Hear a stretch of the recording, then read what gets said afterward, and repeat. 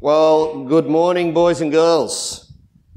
It's good to see you this morning, and uh, I'm going to take you through the stuff that we've been learning. Remember, I mentioned this book last week, and uh, I know some of the kids in our church have grabbed copies. So if you'd like to grab a copy and read ahead, talk about it with mum and dad at home. But we're learning about the gospel. Can anyone remember what the word gospel means? I talked about it last week, really short. What's the word gospel mean? I can understand if Andy, what's the word gospel mean?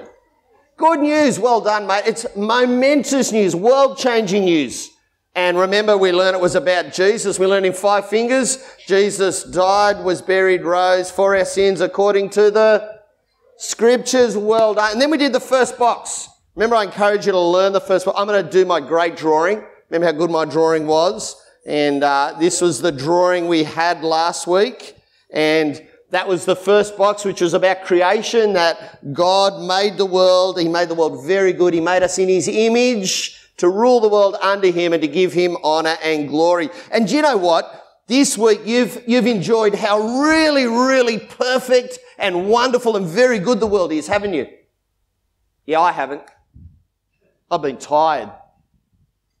I've said nasty things. I've thought horrible stuff. I've even done some stuff that hasn't been friendly to others. I haven't actually reflected God in the image that I've got on me. I've told some lies. I've thought some nasty things about other people. It hasn't been a very good week for me. Uh, you guys might have experienced that too, haven't you? you? You might have watched the news and you've seen that there's wars going on. You might have had stuff in your own family and you've kind of gone, oh, that's not great. You might even thought some onion stuff in your own heart and thought, oh, that's really ugly. So what's gone wrong with the world? What's happened? What's the one word that tells us what's wrong with the world? Giselle, can you remember? Sin, Giselle, it's great that you remember that word. Not great that we do it, but great that you remember. It's the word called sin. Sin's a really simple word. What's the middle letter in sin? Tell me what's the middle letter in sin? I. I. In fact, that's the middle letter in sin all the time, isn't it? I. I'm the boss, not God. I'm in charge, not God. I decide what's right and wrong, not God. I'm the ruler, not God. And do you know what? If you put, I don't know how many kids here, I'm just going to take a guess. If you put 25 little gods in a room together, do you reckon they're all going to get on? No, they're not. Do you they're all going to look after each other? No, they're not. Do you they're all going to care for each other? No, they're not.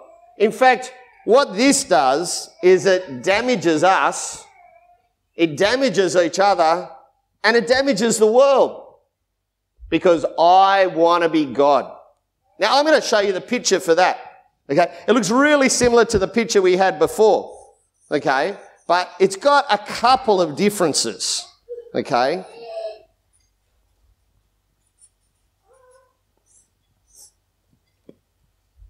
Got all the same pieces, doesn't it? But what have I said to God? I've said, go away, God. Uh, I can be a better God than you. And I'm going to rule the world. And you know what? Do you reckon it makes the world better or worse? It does. Just a really glum kids talk, isn't it? Okay. But we're going to learn more today about why the world is broken by what was that word again, Giselle? What's by our sin? And what's the middle letter of sin? It's I, because I want to be God and not God. All right, I think there's a picture up here about it. Is there a picture up there on the slides? Next slide. Yeah, there you go. The Bible tells us that we've all gone astray like a bunch of lost sheep. And we've decided to do God's job for him and we haven't done it real well. That's the picture. You've got that picture in your kid sheet. If you've got three versions of that picture in your family, what might you do with two of the others? What was that, Georgie? You might give them away to someone else so they can put it on their fridge, they can laminate it, and they can share it and learn it as well. Why don't I pray? You're going to grab some kid sheets, and then we're going to spend some more time as adults learning about sin. Let's pray. Father, thank you that you made a very good world. We're sorry that we've broken it with our sin. We're sorry that we've broken ourselves, each other, and your world. Thank you that you confront us with this truth. Please forgive us. Amém.